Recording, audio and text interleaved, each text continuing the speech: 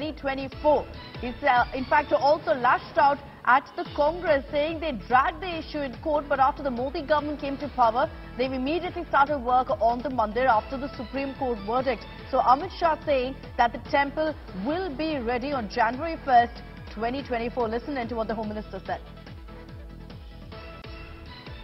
राहुल बाबा हर रोज पूछते थे मंदिर वही बनाएंगे तिथि नहीं बताएंगे और राहुल बाबा कान खोलकर सुन लो और सब रूम वालों, आप भी टिकट करा लो। एक जनवरी 2024 को अयोध्या में गगनचुंबी राम मंदिर वहाँ पर आपको